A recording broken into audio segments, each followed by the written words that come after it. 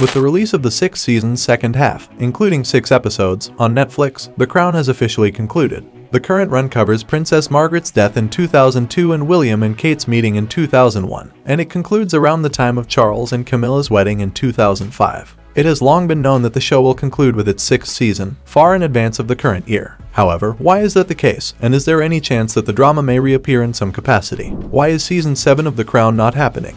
It has always been intended that The Crown will conclude before the present and that there will be a limited number of seasons required to get there. Creator Peter Morgan has always planned for this to go for six seasons. As the fifth season of the program approached its conclusion in 2020, Morgan declared, Now that we have begun work on the stories for season 5 it has become clear to me that this is the perfect time and place to stop. It was revealed later that year that Morgan had altered his mind and that season 6 would indeed mark the end of the show. He gave the following explanation. As we began to talk about the stories for Series 5, it quickly became apparent that we should stick to the original concept and complete six seasons in order to properly capture the richness and complexity of the tale. To be clear, Series 6 will only allow us to explore the same time in more depth, it won't get us any closer to the present. Morgan previously gave the following explanation for why the series should conclude about 20 years behind the present day. I kind of have in my head a 20 year rule. That is sufficient amount of time and space to fully comprehend anything, including its significance, function, and place. Things that seem incredibly significant at the time are frequently quickly forgotten,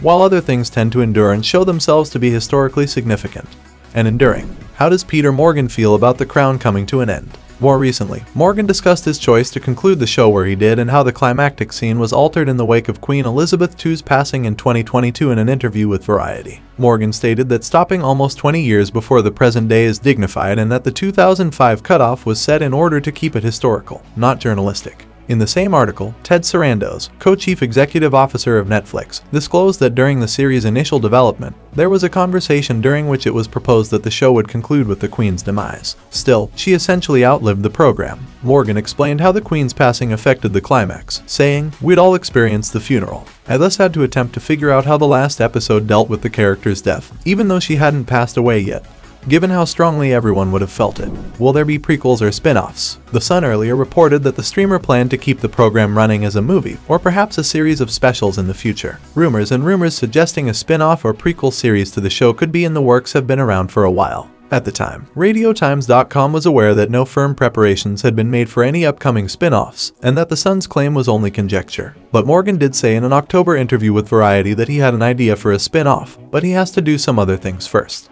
it would definitely be a prequel, taking place before Elizabeth II's reign. He revealed, adding that a unique set of circumstances to come together would be necessary. In the same interview, Ted Sarandos declared, I have complete trust in Peter, and we would certainly investigate if he thinks there are tales to be told there. The writers of the program were reportedly preparing a series of raunchy royal stories in December 2023, according to The Sun. Nevertheless, Peter Morgan said, I'd sooner go write about something else for a while, and let's see, when Deadline questioned him about if this was feasible. It's often hard to discern how much turmoil there actually is inside the royal family or how much the media wants to write about them. However, I believe that for now, some space is ideal. Therefore, even if Morgan doesn't seem to rule out the possibility of more tales regarding the royal family, it appears unlikely and he doesn't have any plans for the near future. Thanks for watching, and if you're new to channel subscribe and click the bell, so you don't miss out latest videos of Media Breakdown.